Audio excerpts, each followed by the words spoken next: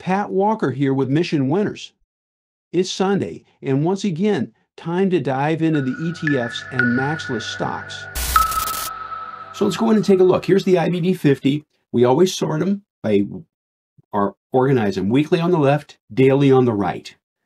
Both charts are powerful. You can see that daily's facing up here, as is the weekly.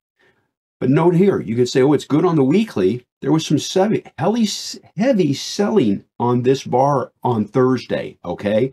Lifted up on Friday on less volume, needs to see some power above that. But the weekly is still good. The trend is still intact. This is the eight period exponential moving average line. And remember this, trends pay. So the IBD 50, good proxy, looks fine. Let's continue onwards. Gold miners, Gold miners ran up and they dropped off, some heavier volume coming in on the daily, and you can see it on the weekly too. Pretty big drop here, okay? Some selling pressure. What does that tell us? With gold miners, be a little cautious at this point in time. Gold, same situation. Big reversal bar on the weekly, heavier selling on the daily. The trend isn't over, okay? I'm not saying that at all. I don't forecast. I'm just saying at this point, there's not a lot of opportunity in gold stocks. Maybe it'll change, and if it does, we'll be ready. Biotechnologies, just basing here. Notice this, green bar here, some selling here. This was a green bar, but this is why at Mission Winners we look at the open, high, low, close. Oh, it's a green bar, it's a good bar. It gapped up and it closed below where it opened. That signifies some selling, all right? What does that tell us? Just see if biotech, it's still in good shape, but just a little choppier here and it reached old highs here and backed off. So just be a little cautious with biotechnology. Continue onwards. Oil and gas, stay away. I mean, do a compare and contrast. You say, oh, this one's hanging in and this one's not. We don't have to overthink it. We have a limited amount of time. Let's use it wisely. That's why we teach this stuff in Mission Winners, and I share it with you. Stay away from oil and gas for right now. Done. Here we go. Software technology is still good on the weekly, okay? Little sloppier on the daily, some selling here and here, and it just says eh, be a little cautious. Don't be overly aggressive buying software technology at this point in time. Continue onwards. Medicine, weekly, eh, okay. Daily, eh, it's in a downtrend. It's below the falling 50 day. Be a little careful with medicine until it starts to take out these highs at around 58 or 57 bucks. Until then, be as I stated, be a little cautious with medicine. Let's move on. Here we go, aerospace and defense. There was some selling on this bar. Weekly still looks good, but that was some serious selling, folks. And it closed near the lows. Needs to see this base out here and start to lift up again. So what does that say? Just be a little cautious with aerospace defense. There you go. Home builders, stay away. Team, this is very important. This is for everybody. We don't need to overanalyze it, overthink it, over scrutinize it. Look what it's doing. It's below the falling 50 day. I said this at IBD meetups for years. The year is better above a rising 50 day moving average line. It's below the falling 50 day. Until that changes, be cautious with home builders. Done. That's simple. By the way, why did that happen? What has a profound impact on the housing market? Interest rates. Interest rates. Good to remember. Very good to remember. S&P 500 growth still in good shape. Looks good. Looks good on the weekly, looks good in the daily. A little bit of a tail bar here, but the trend is up, and that's nice. So what does that tell you? Well, it has told us, be involved in growth. Have we? Yes. Oh yes, we own a ton of growth stocks that are trending, and that'll be on another video too. Here we go. Russell's lagging a little bit. Be careful with that. By the way, here's the weekly, maybe forming a couple with a handle, but there was some heavy selling here on the daily. Needs to start showing some strength. There we go with small cap. Real estate. What does this tell you? Remember I talked about rising interest rates? Markets, housing doesn't like that. Well, they took it down here. It's below a falling 50 day. That's a green line. That's not good. For right now, be careful with real estate stocks. Housing stocks in general. Transport, stay away. Weekly and daily trending down, just stay away. That's it. That's powerful information to know, team. Again, it's great to know what to look to buy, areas maybe to buy, but it's also just as important to say, hey, I'm staying away from this. Narrows our focus down, improves our focus. And I like that. Mission winners is what we do, it's what we teach. Airlines, nothing going on with jets, just leave them alone for right now. Okay. Oh, here, dad humor. Yeah, they're grounded right now. I had to do it. I'm sorry. it's not bad. I mean, it's just a little bit below the rising 50 day, but there's some selling going on here. It needs to show some strength. Let's move on. Mid cap, just kind of basing here. There's a bigger picture cup here, as you can see on the weekly, but there was some heavier selling here, you know, on Thursday. To start showing some life. What does that say? Just be careful with mid cap. Done. Oil services, stay away. I mean, team, we don't need to overanalyze this. Just look. It's below the falling 50 day, and it fell, or the curling down 50 day, and it fell on heavy volume. Be careful with oil service stocks. Done. Move on. Pharmaceuticals are hanging in there. There's a great big cup right here. Look at that. I'll draw this just to help you. And don't think also, oh, I've got to get it to the high, to the penny. No, you don't. Just major intersecting points is good. It takes out that line with volume. Maybe look to buy this or look to buy some pharmaceutical stocks. There we go. Bleeders always. QLD still hanging in here. This is a pretty ugly reversal bar on Thursday. It was an ugly, Thursday was ugly. Serious selling on a lot of, lot of major stocks, okay? Kind of a warning sign at this time. Tells us just to be a little cautious. There we are. Still okay. Still okay. You know what's the best thing you can do? I already have it on alert set. If this could base for a couple days and take off, that would be great. QQQ, same situation. Selling there. Retail, stay away. And by the way, I'm not doing this to be cute or funny when I say that. It's just that simple. We don't have to overanalyze it. It's below the falling 50 day. There's no power. Leave it alone. Leave it alone for right now. Until this starts pushing through the 50 day, you just got to leave it alone. That's it. And you can say, well, this doesn't look bad here. And I'm going to refresh this just to make sure. This doesn't look bad, okay? But then I look here at the daily, it's below here and it's falling. Just be cautious until this starts to lift up again through the 50 day. There's, there's better places to put your money or look for.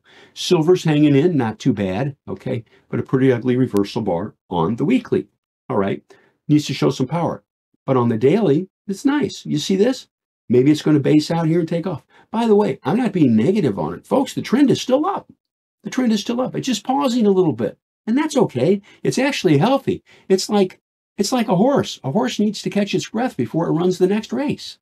Same thing here. Steel's kind of lagging, nothing real power there. Semiconductors. Oh, look at that. Are we involved in semiconductors? Oh, yeah. Oh, yeah. I don't know how many we own. But it's working. And it was telling us on the daily and the weekly look, hey, that's an area to look into. And it has been an area to look into continue onwards. We're about done here. Spiders, uh, there was a pretty big reversal bar here with heavier selling volume, but the trend is still up. Let it base out, and that'd be nice. SSO, same as SPY, it's good. Solars, this is why I do what I do here at Mission Winners. You say, oh, the daily chart looks really good. Yeah, I agree. But then you look at the weekly and go, holy Toledo, there's some, there's some overhead supply on that beast, isn't there? Yes, so what does that tell us? If this base is out and forms maybe a little handle and starts to lift, that could be a potential buy. Wait and see though. But there's a lot of overhead supply in here. So no, there'll be sellers overhead. There we go. Continue onward. Small caps lagging, really nothing to do with it. Leave it alone. Oil services, our U.S. oil, big cup and handle on the weekly, but it's way down here and it looks ugly. It's below the falling 50 day. Here's a great investing maxim for everybody. Try to focus on entities that are above the rising 50 day. It'll really help you. Just better. Biotechnology is lagging, not a lot of power there. Be careful with that. Home builders, another home building ETF. Rising interest rates, not a lot of power there. Be careful. Materials, how do you build houses? Well, you need materials. It's okay all right, it's okay, but it needs to show some power lifting off the 50 day. Continue onwards. Communications doesn't look too bad now, does it? Look at compare and contrast. Eh, that's all right. Oh, that doesn't look too bad, does it? There you go. Now, no, it fell in fairly heavy volume here, right? And it started to pick up. It needs to come across these tops, and I'll draw a line for you. And it's not fancy. That's what I like. It's easy to see. There it is. It, I see it, you see it, is nothing fancy. Just going sideways. Now, there was some selling on this bar. The best thing this could do is this could handle out for a while, for maybe several days, potentially be an entry on it if the market's okay. There we go. And we're almost done. Energy, stay away. I mean, do a compare and contrast. Oh, this is near the highs, Pat. Yep. Oh, this one isn't. There you go.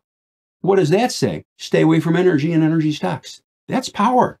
It's, again, good to know what to look at and things to stay away from. We systematize. Mission winners, we systematize. Folks, we all have the same amount of time. Nobody has more time than anybody else. But it's how we use the time, use the time wisely, that separates us from others. And that'll help you too. Use it wisely. It'll help. Continue onward. Financials are kind of choppy here. Be careful with that. Industrial's still basing out, but a little choppy. Be careful. Technology isn't as bad now. Look at that. But check this out. This one's just basing. Oh, this baby hit highs for the week. Check that out. Weekly highs. Technology. Gosh, I wonder if we're involved in technology. Yeah, I think we've got a total, we've got a ton of them out there that I'm not bragging. It, it guided us to that. It told us, hey, you might want to look at them. And we did. Continue onwards. Consumer staples is kind of hanging in there. Um, there's no real clean entry here, so just it's it's okay, but there's no clean entry. Um, healthcare hanging in, but no really clean entry at this time. But it's not a bad looking chart, daily or weekly. Consumer discretionary. There's healthcare, doesn't look too bad. Look at the difference. Below all the moving averages and it's falling. What does this tell you? Stay away from consumer discretionary stocks. Okay? That's important. Be aware of that. You can punch up XLY and find out what their top 10 holdings are. And then you'll say, oh, I don't, I'm not involved with any of those. But gosh, I've got one that is kind of related to that. Better take a look at it. There you go. Watch price and volume action. It'll guide you. XME, metals and mining hanging in, not too bad. Oil, leave it alone. Another energy stock, leave it alone. Retailing. You know, we're talking about the consumer, you know, and interest rates and things look a little sloppier. It's reflected right here too. Look at that. Boom. Taking it down. Be careful with retail stocks. Done. There we go. Software, not a lot of power at this time. Got to be a little cautious there. So now let's move on to the max list stocks. Here's Apple. All right. And the weekly, kind of trending up. A little bit of selling here on Thursday. All right. Here's the night. This is what we'd like. You see these tops across here? If this could base out, maybe form a handle here, that would be constructive. And then when it lifts off, it needs good volume to offset the selling pressure on this. No real clean entry at this point in time, but maybe this week one will develop and we'll be ready at Mission Winners. Continue onwards. Amazon, look at the selling in this. You see this? They're selling pressure. Not heavy, but they're selling. I don't see a lot of green bars in here, folks. Tells us to be a little cautious with Amazon. What do we need to see? We need to see this lift off the 50 day, which is the green line, push through there and do it on volume. That will really help. But you look at the weekly too, selling pressure here and selling pressure here. Close near the lows on the weekly chart. We need to see some power. Until we do, stay away from it. That's simple. Alibaba runs up on the weekly, take it right back down. Daily, look, it goes up, they take it right back down. Support on the rising 21 day. It needs to base here and then get a bounce off the 21 day. That's the blue line, by the way. And I need to clarify that's the 21 day exponential. Needs to bounce off of that with volume. Okay? Until it does, be careful with Alibaba. Continue onwards. Google. Google's trended here, okay? But it got a little sloppy here and it's just chopping around. Let this base out and maybe it's going to form a pattern in here that would be a good entry. At this point in time, it's just a little too choppy, right? But it can change. It can change. Goldman Sachs trending nicely. This is owned. And this is beautiful. Look at that trend. Isn't that great? Look at the volume pickup on that bar right there. You want to see something great? At Mission Winners, this is what we do. Simplicity. Simple base, lifts through tops, doesn't on a pickup in volume. It's lifting off the rising 21 day and pushing off the rising 8 EMA, and we buy. And it trends. Look at the trend up the 8 EMA. This is for everybody. And I taught this at IBD meetups. Good trends pay more with less hassle than anything else you'll do. You don't have to make all kinds of fancy decisions. Let it work. Where's it going to stop? I don't know. Nobody knows. But trends pay, and you sell a little in the strength to guarantee profits and also lessen control risk. Is there an entry at this point in time? Not yet, but give it a couple more days. It may have one. We'll see. MasterCard, do a compare and contrast. Oh, that's trending up. That looks good. It ain't doing nothing. Leave it alone.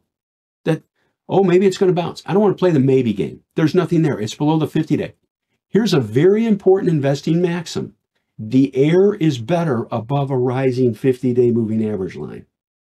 I, I don't mean to be cute and funny. It's just the truth. When you say to yourself, I'm really going to kind of lean on that a little bit more, your investing results will improve and never argue with price. Meta's still below the falling 50 day. There's some tops across here. All right. Slight volume pickup. This was a great run back here, by the way. Look at that. Is that, that's, that's sweet potato pie right there, folks. That was on the key list. Right now it's chopping. There was heavy selling right here. So it needs to push above the 50 day and it needs to do it with really good volume and we need a good market also. Till then, wait. Microsoft is just chopping around here. Needs to push above here. I've got a price alert set. Needs to push above there with volume. But it is loose. It's a little choppy up here, so be cognizant of that. Don't force buys. And, oh, I'll say this. Give this a couple more days. I think it'll look really good. It'll look much better. So watch and see. Netflix, we own from lower down in here. There's one spot. And, you know, it's, it's a good start right here. Simple basis. I love simple basis. You can see on the daily, I see it, but then look at the weekly tops right here.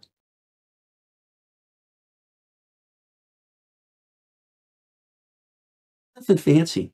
That's it. It's simplicity. And it really helps. Continue onwards. NVIDIA.